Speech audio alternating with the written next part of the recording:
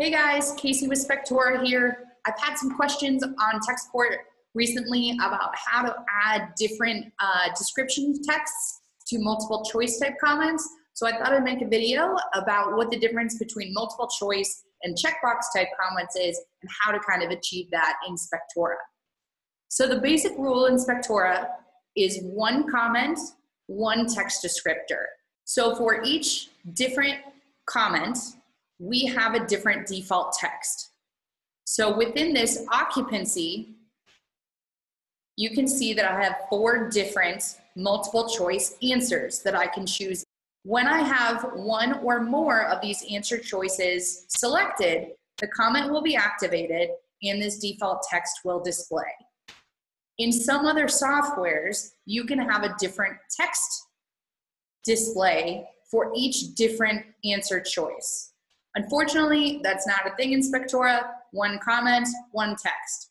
So if you would like to achieve that, instead of having a multiple choice type comment, you would create a checkbox type comment with that answer choice, and then you could put the text that you would like specifically for that answer choice within the default text for that comment.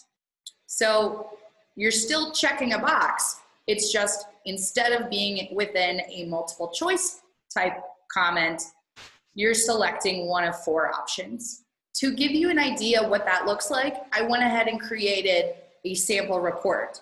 So if I click into edit, so now I'm inside the web report editor instead of the template editor, a report is assigned to a particular inspection.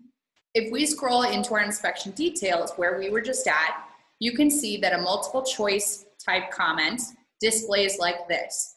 And I can select one, two, three, or four, however many answer choices I would like.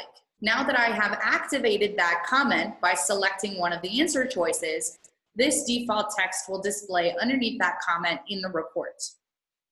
If I wanted a different type of description for each one, with my checkbox type comments here, I would select, I would like to show occupied, and it is furnished. And now I'll be able to have both of these descriptions for occupancy furnished and for occupancy occupied both display in the report. To give you an idea what it looks like, let's go over to the web report. Now, if I scroll down to my inspection details, you'll see that this multiple choice type comment has the title of the comment, the answer choice is selected, and then the text within the comment.